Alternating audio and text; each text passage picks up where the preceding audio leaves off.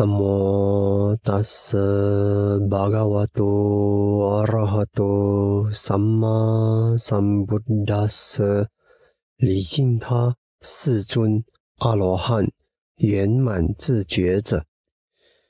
各位听众朋友们，大家好，我是吉祥村子。有人问，所以说，吃得苦中苦，方为人上人。要成为人上人。就必须吃得苦吗？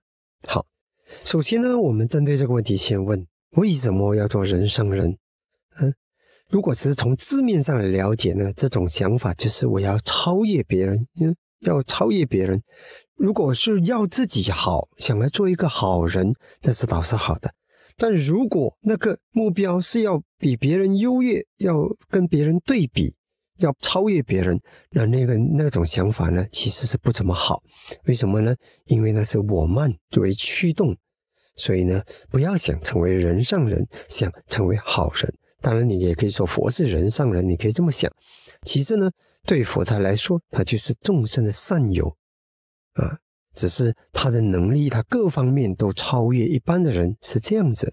所以你要称他为人上人也是可以。但他成佛的时候，他发愿成佛不是为了要成为人上人，他发愿成佛是要圆满度众生的能力，让自己能够度众生。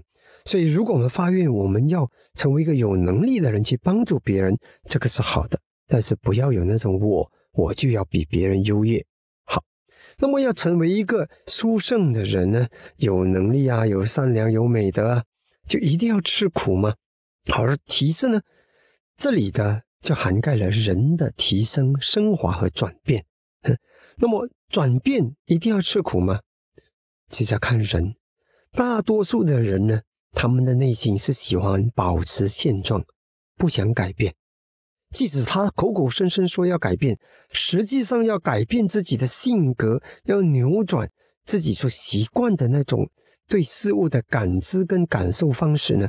人们的心是有那种内在的阻力的，因为有了这个内在的阻力，他又要改变，他就觉得很苦，所以变成就是要吃苦了。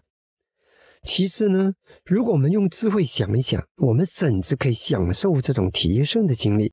觉得这是多好的事啊！我能够改变自己啊，有导师指出我错在哪里，让我能够改掉我的弱点，我改掉我的缺点，这是多好的一件事。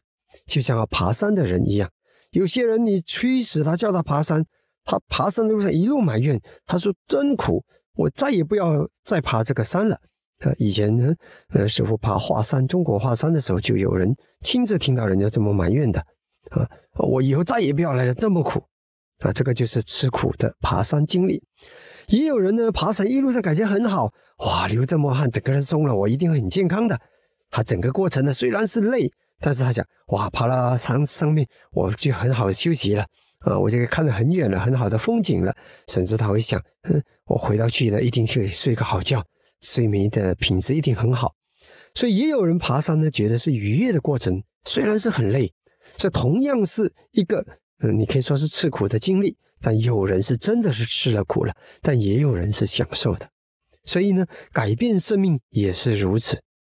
啊，如果你习惯了，习惯了改变自己，然后每一次回头看到自己进步了，升起无限的愉悦，那以后你在面对那个改变的时候呢，你不会觉得它是吃苦，你反而觉得这是一个很享受的一种磨练。好，那被动吃苦跟主动吃苦。在功德上有什么差别？嗯，这里我们讲吃苦是指磨练吧。嗯，那被动呢，通常就是你不情愿的，他真的找上你了，你很不情愿的接受。那当然，像比如说忍辱的经历，常常都是被动的。嗯，事情找上我了，我就只能接受。嗯，这个也是好的，也是殊胜的。但是如果有那种被动的心、不情愿的心呢，那就不好了。那因为那心呢不情愿的心，你并没有真正的殊胜的功德，心里面是在嗯，好像啊一直挨打着那种感觉，那种不情愿的感觉，甚至有怨恨的感觉。所以呢，被动就看哪一种被动。如果纯粹只是东西找上我，我没去找他，他找上我，那那个被动，那个心灵上是没有被动。如果是心灵上被动呢，就是说，我我很不情愿，那个呢，呃，甚至有些时候还没有功德都可能。那主动呢，是选择主动接受磨练，这个它有它的智慧存在。有些时候我们不知道我们生命几时会遇到真正的考验，如果我们能够在考验还没来临之前，主动的训练自己，就像一个人他平时去训练练身啊、爬山啊。跑步啊，真正战争来的时候，他可能跑得更快，或者是能够呃迎战啊，或者是怎么都好了，那他总是会呃更有能力去担当、去承受那个考验。洪水来的时候，他已经有一个强的体魄去面对了。